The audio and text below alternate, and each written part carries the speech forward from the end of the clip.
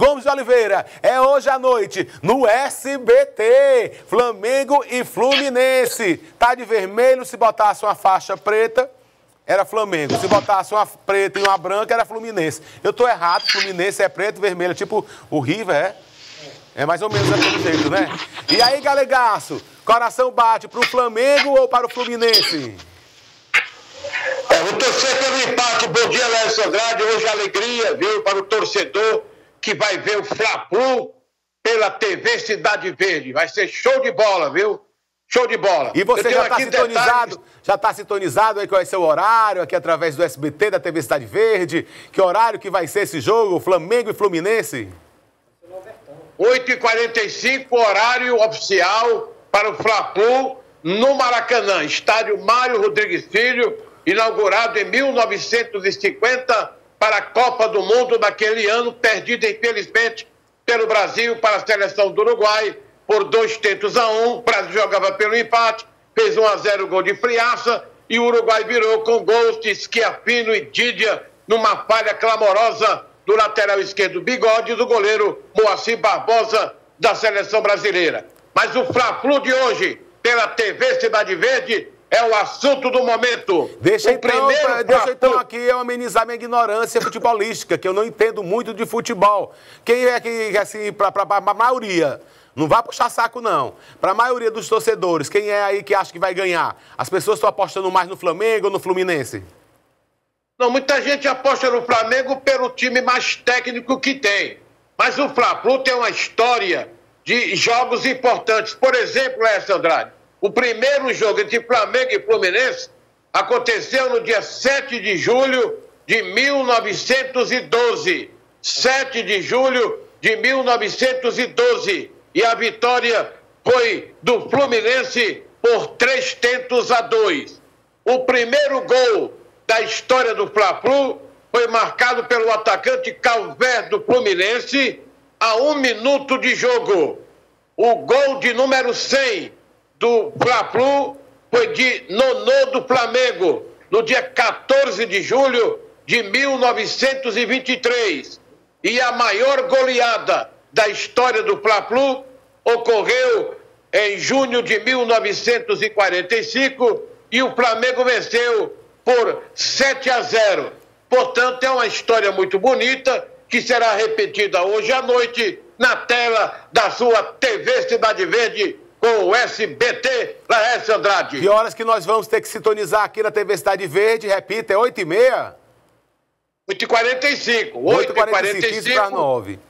Uhum. Exatamente. Valeu. Muita gente vai assistir o jogo, viu? Vai ver de pertinho o jogo através da sua TV Cidade Verde com a narração de Tel José, que é um dos grandes narradores da televisão brasileira. Já já a gente fala mais sobre esse assunto para lembrar as pessoas ficarem ligadinhas aqui conosco na TV Cidade Verde, 8h45 de hoje, Flamengo e Fluminense. Vamos começar com algumas notícias de hoje. Quais são? Ontem eu fiquei horrorizado, Galego.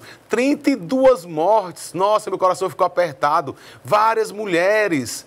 Eu fiquei assim horrorizado com o número de mortes ontem aqui pra gente, aqui pro Piauí é complicado, é a violência, ver a violência misturada com esse tal de Covid. Olha, foi assassinado um pai e também a mãe foi assassinada de um deputado estadual pelo Maranhão. Foi encontrado na manhã de hoje, Lécio Andrade, no município de Turiaçu, no estado do Maranhão, o corpo do pai do deputado Kleber Verde, do Republicanos. O pai do deputado Jesuíno Cordeiro levou 15 tiros. 15 tiros matou o pai do deputado Kleber Verde, lá do Republicanos do Maranhão. A sua mãe também, Dona Maria da Graça Cordeiro, de 70 anos de idade, também foi assassinada, confirmando que ele é deputado federal e não estadual. É o deputado federal Kleber Verde, do Republicanos do Maranhão, que teve o pai assassinado, seu Jesuíno Cordeiro, com 15 tiros, e a mãe, Dona Maria da Graça Cordeiro, de 70 anos de idade, também assassinada barbaramente. Galego, eu... não diz Diga, tudo agora não. Eu quero criar mais expectativa que você vai falar mais um bocadinho, não só desse jogo que vai ser transmitido aqui pela TV Cidade Verde, mas mais notícia também, tá bom, meu amigo? Ok. Valeu, já, já a gente, volta. volta. Mas eu tô vendo que tu tá de Flamengo aí, camisa vermelha. Não é Fluminense. Não, eu, eu, Você tá de Fluminense. Eu, tá de Fluminense. Olha, camisa vermelha, barba branca e sobrancelha preta. Olha aí, tricolor. Eu, eu torço para que tenhamos um grande espetáculo de futebol, que é que o torcedor precisa, e vai ver hoje aqui na TV Cidade Verde. É só aguardar. Continuando Tudo com as novidades, continuando com as notícias. Rasga aí pra gente o que é que tem de bom aí. Ou então de novidade importante Olha, que todo mundo quer ver. Vamos lá. Olha, golpistas usaram o cartão do presidente Bolsonaro e gastaram 290 mil reais em farras em Santiago do Chile, confirmando que golpistas usaram o cartão do presidente Jair Bolsonaro e gastaram 290 mil reais em farras em Santiago do Chile. Além do presidente, dois dos filhos, Flávio e Carlos, também tiveram cartões de crédito usados pelos marginais e sem soro no país, uma serpente apreendida em Brasília corre o risco de ser sacrificada nas próximas horas. E a vacina contra a Covid-19 testada no Brasil pode ter registro em julho de 2021. Portanto, uma vacina contra a Covid-19 que vai ser testada no Brasil pode ter registro em julho de 2021. E um paulista ganhou os 43 mil reais da Mega Sena no sorteio de ontem.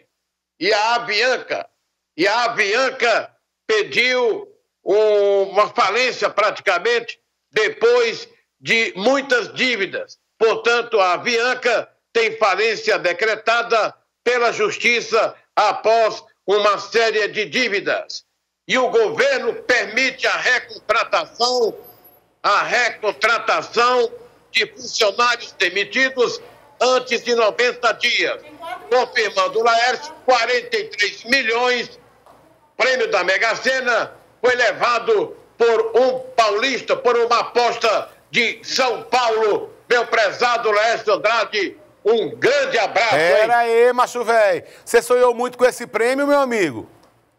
Sonhei, mas é, é de lascar, né? A água só corre pro mar. Então, Ei, parabéns galego. aqui.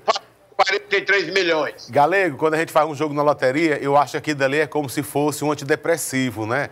Como se fosse um calmante para as pessoas. Acalma o coração, porque a gente compra aquele bilhete e fica começando a fazer planos, né? Bem, se eu ganhar X Exato. o prêmio total, se eu ganhar metade, se eu ganhar só X tanto, né? A gente fica assim, às vezes até gasta mais um bocadinho na expectativa de ganhar, né? É o subconsciente da gente que traz essa, essa satisfação ali momentânea por conta de estar com aquele bilhete que não sabe nem que vai ser premiado. É verdade. Teve um cidadão até que gastou tudo porque achou que tinha ganho e na hora o cartão dele estava todo errado. Aí ele ficou numa situação realmente muito complicada. Mas situação boa é que vai ver hoje o Fla-Flu pela sua TV Cidade Verde o SBT. Fla-Flu, grande jogo, decisão do Campeonato Carioca. Flamengo venceu a primeira e o Fluminense tenta hoje reverter a situação. Narração de Théo José Grande narrador Galego. hoje, TV Cidade Verde. Galego, eu conheço Fala. o hino do Flamengo, que eu acho que todo mundo conhece, é aquele. Uma vez Flamengo, Flamengo até Flamengo. morrer. Nananana, hei de ser. E é. o do Fluminense não tá no meu juízo, não. Qual será o do Fluminense? É aquele. Sou tricolor ah. de coração. Sou do clube tantas vezes campeão. O Fluminense foi o primeiro campeão carioca em 1906 e é conhecido como pó de arroz. Botafogo, por que lá? Você está perguntando se ele sabe do. Você, você gosta do, do Botafogo? Que o Lai está perguntando, que o Lai pergunta. Sei, eu sei, Lai. Botafogo, Botafogo, campeão desde 1910. Tá aí, Lai. Agora Andréia está fazendo o pedido. Qual é a música do Corinthians?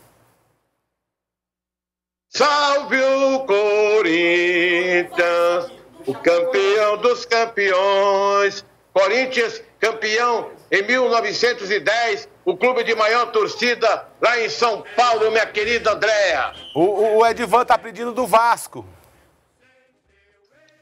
Ih, rapaz, peraí. Quem sabe aí pra eu lá aqui com ele? Avança. É não. Não, isso é o Avante Ribeirinho. O Vasco eu não sei porque só é visto. Aí eu esqueço. É, e o Flamengo do Piauí, outro pedido.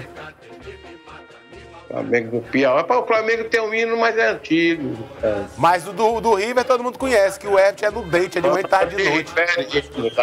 E tem aquele ali. Sou Riverino de coração, que é do Piacis, pai do nosso querido César Filho. Chapecoense, sabe qual é do Chapecoense? Aí também você tá querendo demais, sei não. pois hoje, contra o marcado, vamos assistir o jogo, não é isso? Flamengo e Fluminense, eu lá em casa e você na sua, e nosso telespectador também na sua casa, através da TV Cidade Verde, às 8h45, não é isso, Galegaço? Fla-Flu sensacional de hoje, com a narração de Théo José, aqui pela boa imagem do Piauí. Lembrando que o primeiro Fla-Flu foi realizado no dia 7 de julho de 1912 e o Fluminense ganhou a parada por 3 a 2. Primeiro gol na história do Fla-Flu, marcado por Calvé, atacante do Fluminense, Lécio Andrade. Chama o intervalo comercial, macho véi. Opa! Se você investe no Cidade Viva, claro, é porque tem retorno. Vamos aos comerciais já já ele volta, o comunicador da maioria.